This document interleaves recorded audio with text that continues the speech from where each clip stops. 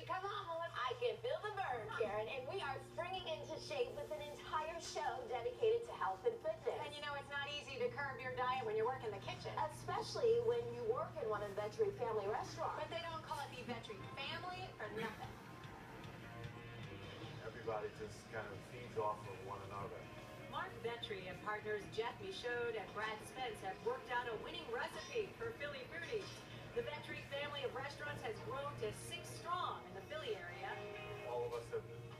been together for, for so long. We have the same thoughts about food, we have the same thoughts about work ethic, and it just works. They also have the same thoughts about working out. On Saturday mornings, they trade in their chef coats for jiu-jitsu gi. All right, guys, let's do it. All right, partner up on the bell. Ready? Go. They're all hooked now, and it's great. I see a big difference every time they train. They're not going through the motions. I mean, they really want to perfect the art and get better. So people want to be in better shape. Let's go. Give it a shot. We do everything together. We work hard together. We started this about, I guess, uh, four years ago now, and now we're just obsessed with it. You know?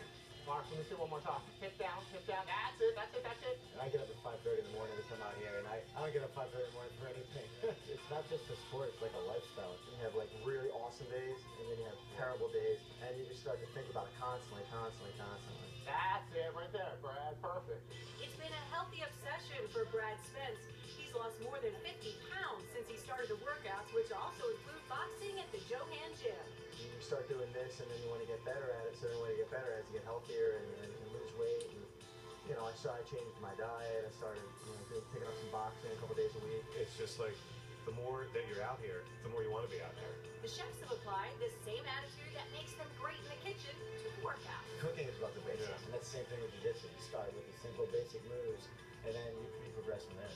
Once we learn something, we have to master it. It really is addicting. A tough night in the kitchen is nothing compared to, you know, five five-minute rounds in the cage or on the mat some days. Okay, you get that? We're constantly teaching in the kitchen every day. We're teaching, and it's great to kind of flip that when you get here. And now you're the one being taught, and people who are really passionate, they're teaching you. It's great. And It's also family day. And family.